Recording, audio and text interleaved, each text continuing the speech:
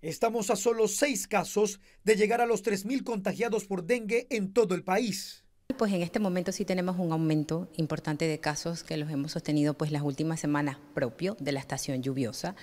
Eh, pues sin embargo el Ministerio de Salud ha estado realizando pues acciones puntuales para el control integral del mosquito. La situación podría ser peor una serie de factores potencian el riesgo de un aumento significativo de enfermedades transmitidas por vectores. Definitivamente, eso está descrito, muy evidenciado por los estudios, de que los factores de riesgo que implican las altas temperaturas, las lluvias con estas características intensas, van a, a, promover, van a acelerar, ¿sí?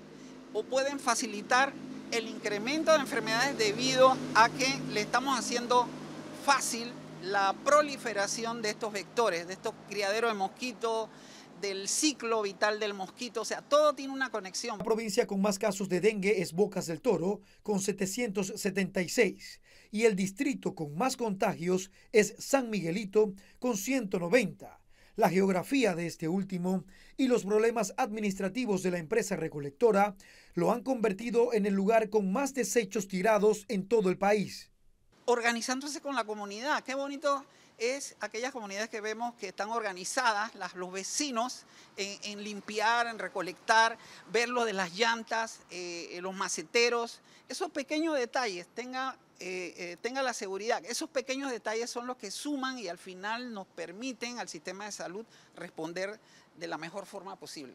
El 70% aproximado de los criaderos que nosotros encontramos en los operativos integrales son eh, criaderos útiles de recipientes útiles de la persona. y mucho más lo encontramos en aquellas zonas en donde la gente colecta agua, pero no es colectar agua, es saber colectarla y taparla adecuadamente.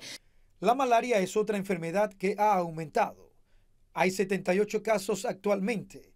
La mayoría están en la zona oriental del país, como Gunayala y Darién. Rolando Delgado, Telemetro reporta.